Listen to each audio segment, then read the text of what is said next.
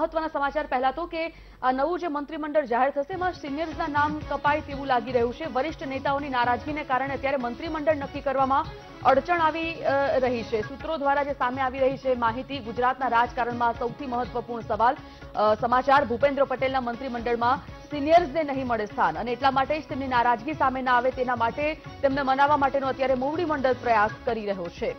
મોવડી મંડળ વરિષ્ઠ નેતાઓને મનાવવાના પ્રયાસમાં અત્યારે લાગી ગયું છે અને એટલા માટે જ વરિષ્ઠ નેતાઓ હવે આ નારાજગીના કારણે કોઈ અસર ન પહોંચે. વરિષ્ઠ નેતાઓને જો અવગણના કરવામાં આવે છે, તો તેમની નારાજગી કોઈ વધારે ગંભીર અસર ન પહોંચાડી શકે પાર્ટીને. એટલા માટે તેમને કન્વિન્સ કરવાનો પ્રયત્ન અત્યારે કરવામાં આવી રહ્યો છે. ગૌતમ શ્રીમાળી સંવાદદાતા ફોનલાઈન પર જોડાઈ ગયા છે. ગૌતમ, એક હિન્ટ તો આવી ગઈ છે કે સિનિયર્સ નેતાઓને સ્થાન આ મંત્રીમંડળમાં નથી મળવાનું. કયા કયા નેતાઓ સાથે અત્યારે મોવડી મંડળ ચર્ચામાં લાગ્યું છે, મનાવવામાં લાગ્યું છે?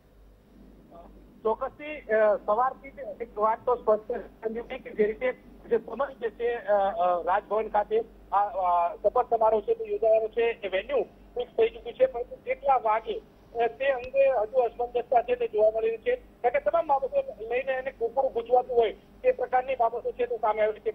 સૂત્રો દ્વારા જે માહિતી મળી રહી છે, માહિતી એવી મળી રહી છે કે મોટા જે નેતાઓ છે, એટલે કે સિનિયર નેતાઓ છે, તે કપાવાની જે સંભાવના છે તે જોવા મળી રહી છે. આ તેને લઈને રીસામણા છે ચાલી રહ્યા હોય. તે પ્રકારની પણ બાબતો છે તે જોવા મળી રહી છે. રીસામણા મનાવડા વખતે તમામ જે હેડી ચોટીનું જોર, એટલે કે જે કપાતા હોય નેતા તે પણ હેડી ચોટીનું જોર લગાવતા હોય તે પ્રકારની બાબતો છે તે સામે આવી રહી છે. એટલે કે આ તો જોઈ શકાય કે ઘણા ખરા સિનિયર નેતાઓ છે. તેમને સ્થાન ન મળે તે પ્રકારની પણ એક શક્યતા છે તે સેવા થઈ છે. એટલે કે ભૂપેન્દ્ર પટેલનું જે નવું મંત્રીમંડળ હશે, તેમાં સ્થાન ન મળે. તે પ્રકારની પણ બાબતો જોવા મળી રહી છે. વારંવાર મંત્રીમંડળમાં જઈ અને અડચણો આવી રહી છે કે તેમને રાખવા કે ન રાખવા, આગામી દિવસોમાં બે હજાર બાવીસ ચૂંટણી આવી રહી છે. તે પણ કેટલી અસરકારક પહેલું જોવાઈ શકાય છે. આ તમામ બાબતો છે, એમાં આમ આદમી પાર્ટી જે છે તેને પગ વધારો કર્યો છે એટલે કે બીજો મોરચો એટલે કે ગુજરાતની વાત એ પણ છે કે બીજા મોરચાને પક્ષમાં રાખીને ક્યારેય અ, આ, આ, અ, જે સમ- અ, સમાવેશ છે તે નથી જોવા મળતો પરંતુ જે રીતે આમ આદમી પાર્ટી આગળ વધી વધી રહી છે આ તેને લઈને ક્યાંક ને ક્યાંક અસમંજસતા છે તે પણ જોવા મળી રહી છે એટલે કે નવું જે મંત્રીમંડળ હશે તેમાં તમામ જ્ઞાતિવાદી દર્શન છે તે જોવામાં આવી રહ્યા છે. નેતાઓને પણ જોવામાં આવી રહ્યા છે. તો કે તાજેતરમાં ઘણા બધા નરેન્દ્ર મોદીનું જે મંત્રીમંડળનું વિસ્તરણ થયું, જેમાં કેટલાક યુવા નેતાઓ છે, તેમને પ્રાધાન્ય આપવામાં આવ્યું ખાસ કરીને મહત્વની વાત હતી એ હતી કે જેમાં ઓબીસી સેક્ટર છે તે મોટા પ્રમાણ જોવા મળ્યું છે. એ સેક્ટર છે તે અહીંયા કામ લાગે તે પ્રકારની એક શક્યતા છે તે જોવા રહી છે. તેના કારણે સિનિયર નેતાઓ છે તે પટ્ટા મુકાય. તો પણ નવાય નહીં એટલે કે સિનિયર નેતાઓ પટ્ટા ના મુકાય તે માટે ભાઈ અને તેમને શરૂ કર્યું હોય તે પ્રકારની બિલકુલ.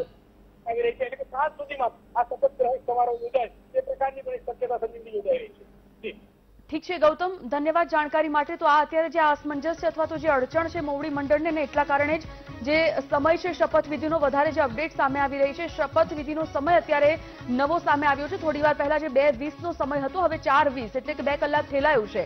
આ બધા જ મંત્રીઓ સાથે અત્યારે ચર્ચા ચાલી રહી છે, બેઠક ચાલી રહી છે. ક્યાંક સી આર પાટીલના નિવાસસ્થાને બેઠક કરવામાં આવી રહી છે તો ક્યાંક બીજા વરિષ્ઠ નેતાઓને મનાવવાના પ્રયત્ન કરવામાં આવી રહ્યા છે. તેમની સાથે વાતચીત ચાલી રહી છે.